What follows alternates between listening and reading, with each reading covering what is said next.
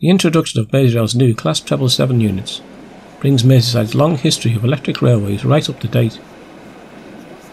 These new units are set to replace the 1970s designed Class 507 and 508s.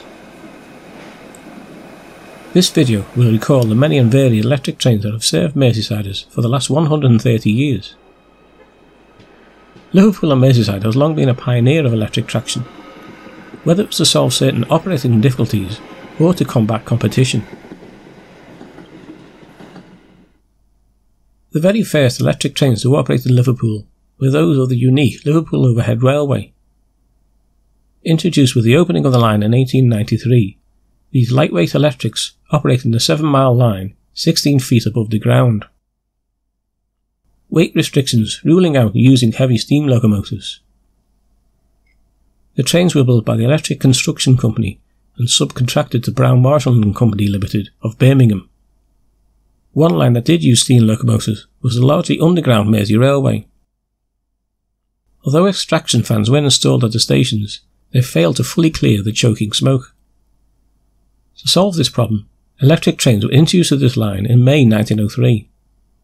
The Mersey lines were the first in England to operate fully on the electric multiple unit principle. Although the Central London Railway had some experimental sets in 1901 and prototype units in operation in early 1903, the Mersey Railway was the first to be fully converted to EMU operation. The American style trains were to be designed by the George Westinghouse Company. The bodies were built by G.F. Milnes of Shropshire, whilst the electrical equipment was imported from the US. The trains fully assembled at Trafford Park in Manchester. The third system to go electric was the Lancashire and Yorkshire lines out of Liverpool Exchange to Southport and Ormskirk. The need for electrics here was twofold. The commuter traffic was increasing and capacity was becoming an issue and Lancashire and Yorkshire also saw the expanding Liverpool tramways would become serious competition to that lucrative commuter traffic. The first batch of units introduced was built by the Lancashire and Yorkshire at Newton Heath in 1904. These were 60 feet long and 10 feet wide with a tapered front end, later rebuilt to a flat front. In 1905, special lightweight stock was introduced to run a Southport to Dingle service over the overhead railway. A prototype was built by Dick Kerr of Preston, and the remaining 10 cars split between Newton Heath and Horwich. More units to the 1904 design were added in 1906.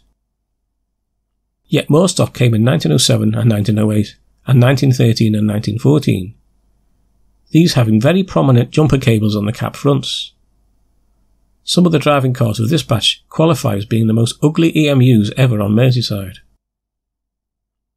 The next stock to enter service on Merseyside lines was for the Mersey Railway.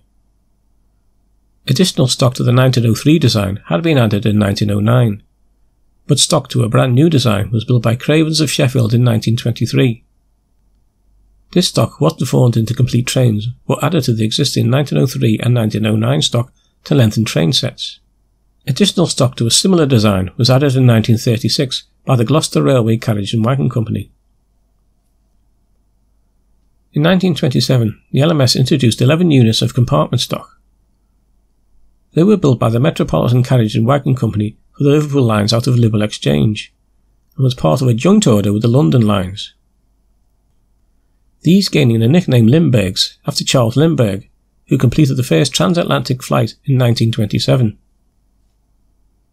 The next new trains were for the 1938 LMS Wirral Lines electrification.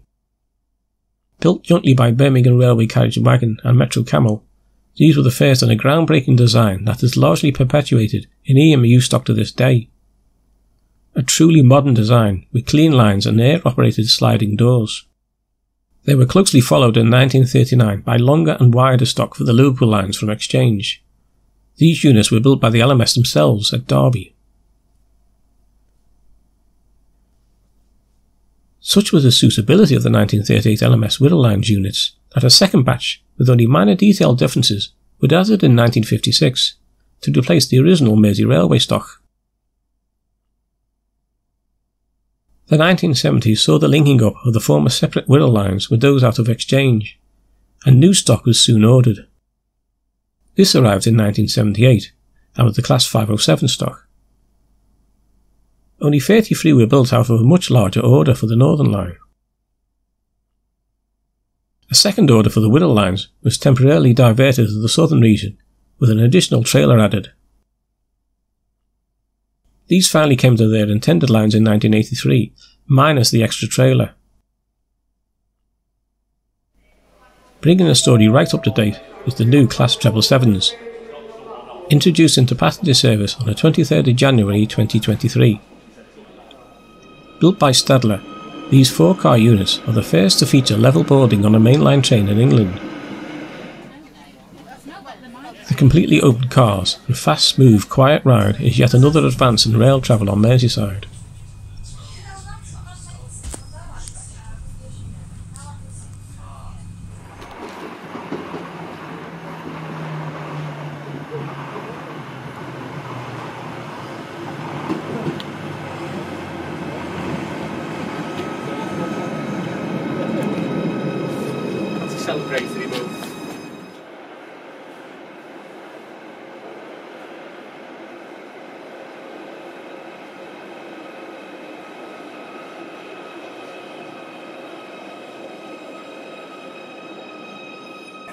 A bit more help, but you can just...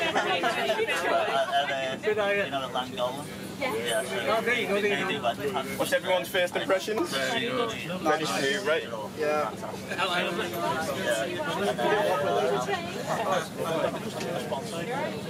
The last 130 years of railways on Merseyside have seen many advances in electric trains, and the Class 777s have now joined that long list. Whilst many will be sad to see the 507 and 508s go, the new trains have now become part of Merseyside's continued innovation in electric railway history.